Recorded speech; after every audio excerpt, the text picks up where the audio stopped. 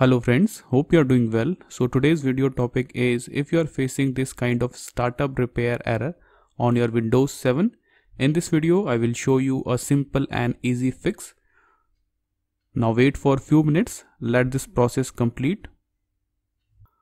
So after waiting for 10 to 15 minutes, you will get this window. Startup repair cannot repair this computer automatically. Now cut this window and click on this option view advanced options for the system recovery and support. Click on this option then click on next. Now select your system login username and enter the password if you have. Otherwise click on ok. Now select this option system restore. Click on this option then click on next.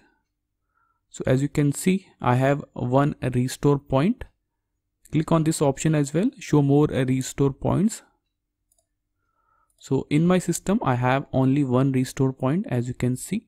So what i will do is i will select the latest restore point i have then click on next to restore my system in the backdate and this will fix my issue.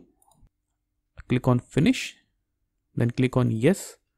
Now this process will take some time System restoring completed successfully. Now click on restart. And you can see the issue has been resolved.